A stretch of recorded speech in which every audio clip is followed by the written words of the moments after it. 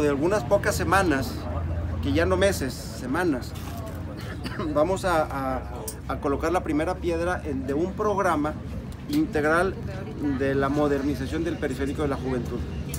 Eh, y esa, esa modernización básicamente consiste en lo que ya tenemos como prioridad, darle prioridad al peatón, en donde podamos darle prioridad, por supuesto que no en los carriles de alta velocidad, esos carriles de alta velocidad seguirán siendo exclusivos para vehículos.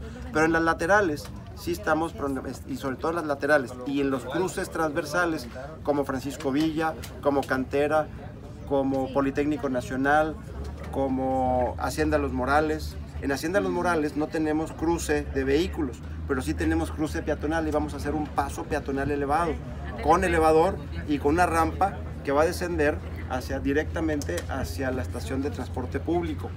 Entonces eso es lo que vamos a hacer.